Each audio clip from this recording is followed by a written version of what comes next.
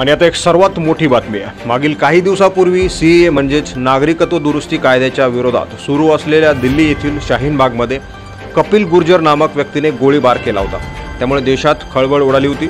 आज त्याच वेळीची आठवण करून देण्याचं कारण म्हणजे शाहीन बागमध्ये गोळीबार करणाऱ्या व्यक्तीला भारतीय जनता पार्टीमध्ये स्थान देण्यात आलं आहे आज बुधवारी उत्तर प्रदेशच्या गाझियाबाद जिल्हा कार्यालयामध्ये हा प्रवेश देण्यात आला आहे देशभरात संवैधानिक पद्धतीने सीए विरोधात शांततेत आंदोलन करणाऱ्या आंदोलकांना धमकावण्याचा तो गैरसंवैधानिक प्रकार होता.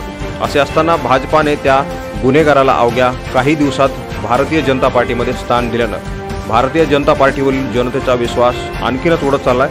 शिवाय भारतीय जनता पार्टीवरील आरोपांचा पाऊस सुरू झाला आहे